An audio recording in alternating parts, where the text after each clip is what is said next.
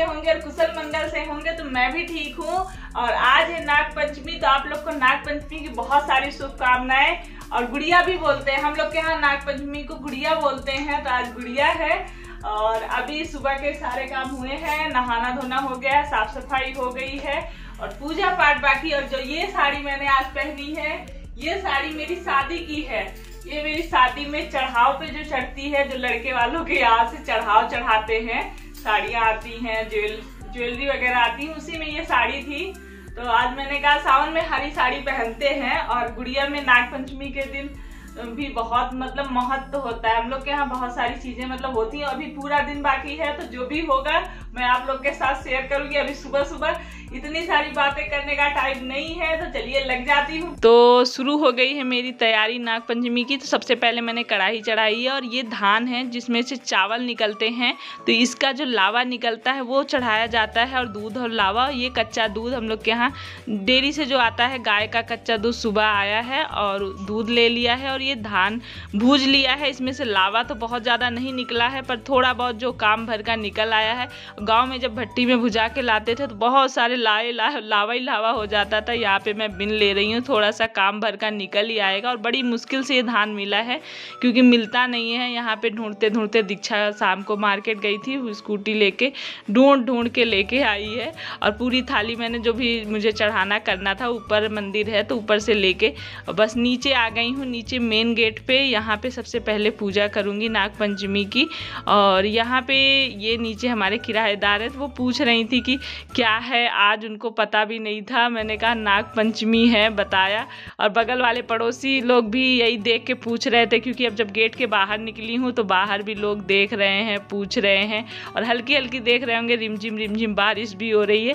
और यहाँ पे मैंने हल्दी ली है और हल्दी से थोड़ा सा गेट के बा, बाहर थोड़ा सा ऐसे ही लीपना पोतना हम लोग क्या बोलते हैं, पर हल्का सा मैंने वही लगा दिया हल्दी से घोल के, उसके बाद यहाँ पे दीपक जला लिया है और घी से इसमें नाग देवता बना दूँगी।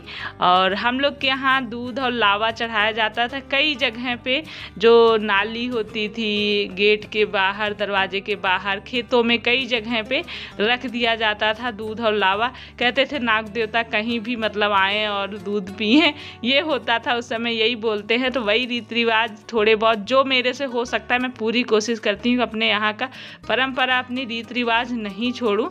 और जो हमें एक्स्ट्रा आजकल तो बहुत सारी चीज़ें सुनने में आती हैं, बहुत सारी चीज़ें पता चलती कि अब ऐसे करना चाहिए वैसे करना चाहिए। तो वो सारी चीज़ें भी जो अच्छा लगता है, करते हैं, लेकिन जो हमारे घर के पुराने रीति रिवाज हैं, वो भी करने चाहिए। तो यहाँ पे दोनों तरफ़ ही मैंने ऐसी पूजा कर ली है और दूध यहाँ पे मैं नाली है तो नाली के पास भी मैंने दूध और लावा भर के रख दिया है दिवाली में और गेट पे भी कर लिया है और दोनों ही तरफ़ गेट की उसी तरह से मैंने पूजा करी है। उसके बाद फिर से आ गई हूँ ऊपर थी मंदिर के बर्तन है। पूजा करने से पहले मंदिर के बर्तन वगैरह साफ़ करके धुल के फिर होगी मेरी पूजा।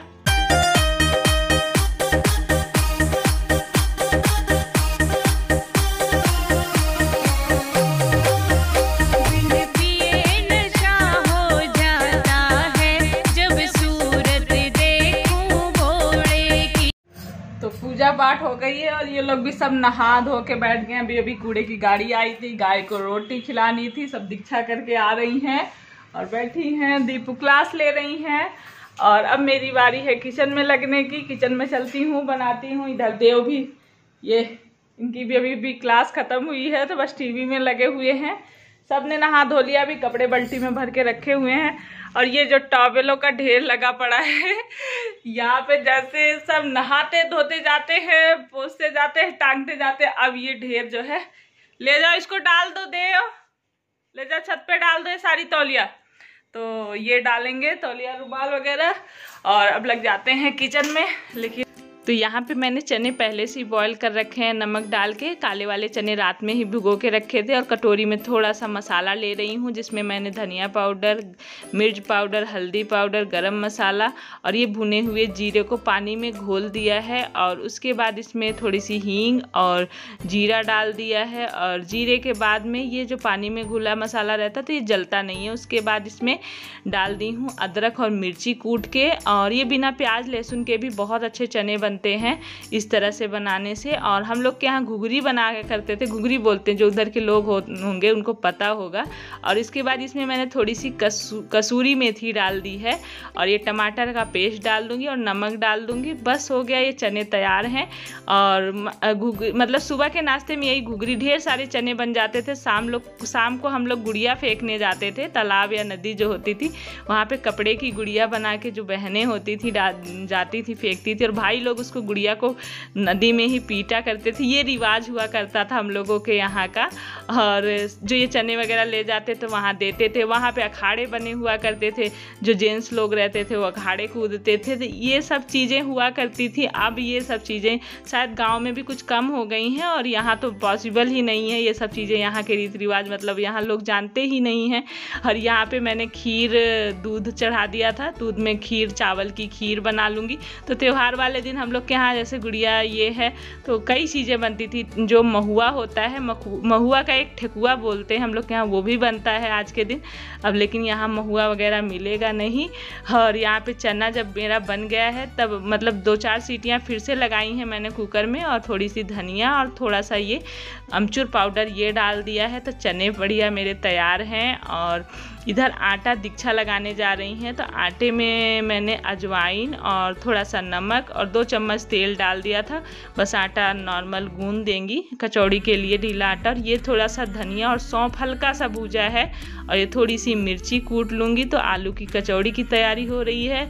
मिर्ची कूट के डाल दिया है। फिर ये जो हल्के हल्के से भुने हुए धनिया और सौंफ थे, इनको थोड़ा सा कूट लेंगे, दरदरा सा कूट लेंगे और थोड़े से तेल में रिफाइंड या तेल में थोड़ा सा जीरा डाल के और ये दरदरा जो मैंने मसाला कूटा है, सौंफ और धनिया, इसको डाल दूँगी और तुरंत गैस बंद कर दूँगी। इसको भूजना नहीं है, तेल गरम तेल में ही डाल के बस इसको आलू में डाल दूँगी और आलू में डालने के बाद बस इसमें हरा धनिया और जितने भी ये मसाले जो हैं थोड़े थोड़े से लाल मिर्च, थोड़ा सा धनिया पाउडर, थोड़ा सा जीरा पाउडर, थोड़ा सा गरम मसाला, ये डालूँगी और ये डालने के बाद बस नमक डाल के और इनको मिला दूँगी तो मेरा कचौड़ी का मसाला भी तैयार हो गया है। तो आज यही बन रहा है मेरे खाने में।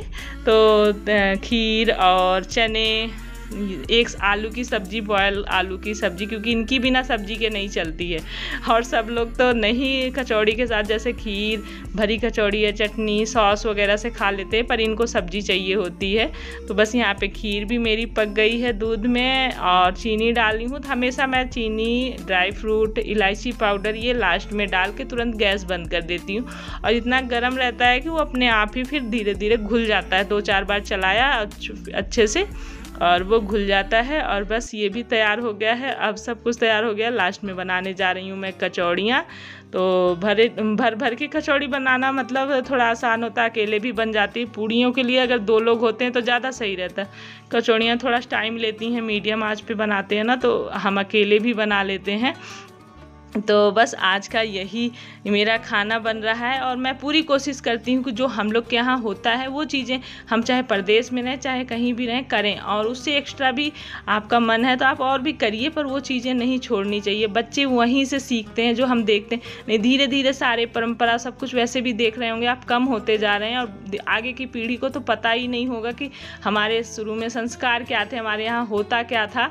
तो इसलिए मैं पूरी कोशिश करती हूँ, जो चीज़ें होती हैं, मैं अपनी सासू माँ से फ़ोन करके पूछ भी लेती हूँ। अगर भूल जाती हूँ तो पूछ लेती हूँ, मम्मी, क्या होता है, कैसे होता है? तो वो बता देती हैं। तो मैं अक्सर वही, और आज के दिन हम लोग यहाँ मेहंदी ज़रूर लगाते थे। मैं अपने मम्मी से मेहंदी लगाया करती थी। उस समय कीप नहीं हुआ करती थी। तो मम्मी मेरी जो सीख होती थी, नीम की सीख, उससे बहुत अच्छी मेहंदी लगाती थी। तो खाना बन गया है। आ जाइए आप लोग भी खाना खाने के लिए। तो यहाँ पे कुछ पार्सल आया है मतलब ऑनलाइन ऑर्डर कर रखा था तो दीक्षा का बर्थडे आप लोग को पता ही आ रहा है। तो मैंने बोला अपना शॉपिंग कर लो तो खुद से ही कुछ चीज़ें ऑर्डर कर रही हूँ मैं बाद में आप लोग को दिखाऊँगी। इतना सुहाना मौसम है अभी अभी बहुत बारिश होके निकली बहुत तेज। पूरा पानी पानी भरा है। नीचे देखिए कितना पानी है। ये देखिए। अच्छा लग रहा है ना पानी में? छप छप छप छप। बचपन वाले दिन आ रहा था जैसे हम लोग गुड़िया पे बारिश ज़रूर होती थी, नागपंचमी पे झूला झूलते थे।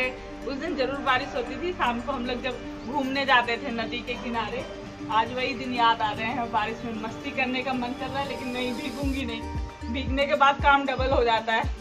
इसलिए भीगूँगी नहीं थोड़ी सी मस्ती, उसके बाद फिर नीचे चलते हैं। तो बस मार्केट जा रहे हैं और अभी बारिश बंद नहीं हुई है हल्की हल्की हो रही है और आज जानते हैं बहुत ज़्यादा बारिश हुई है और दीक्षा की शॉपिंग तो धीरे धीरे हो रही है, इकट्ठा हो जाएगी जब मतलब पूरी हो जाएगी तो मैं आपको बाद में दिखा दूँगी।